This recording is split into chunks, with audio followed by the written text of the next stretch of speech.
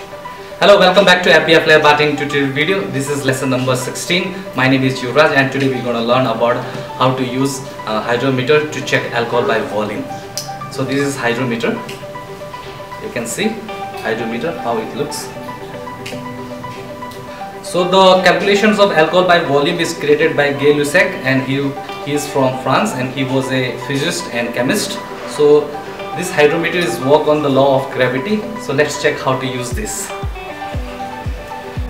So in this hydrometer there is a level of alcohol by volume from 0 to 100 and it was written Gay-Lussac and alcohol alcohol meter volume by volume 20 degrees Celsius. So this is hydrometer.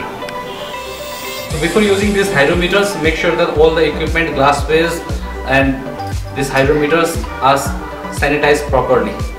So what you need to do is first you need to have distilled alcoholic beverage. Today I'm today I'm using Old Monk dark rum. So what you need to is you need to pour on Pilsner glass.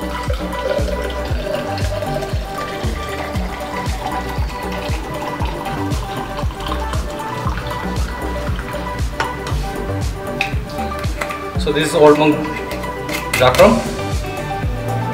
It's made in made in India.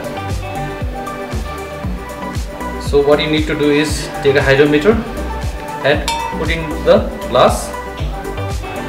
So what you need to do is just spin the hydrometer and check the alcoholic percentage in hydrometer. See 40% of alcohol in Old Monk dark rum.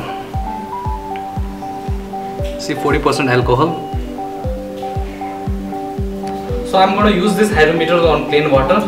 So I'm just take the hydrometers. Make sure that this hydrometer is sanitized properly So what you need to do is you need to put these hydrometers on plain water. So spin the hydrometer. See the level of hydrometer. So in this plain water there is no alcohol so it shows 0% of alcohol. So here we go. This is how you need to check the hydrometer. How much percentage of alcohol.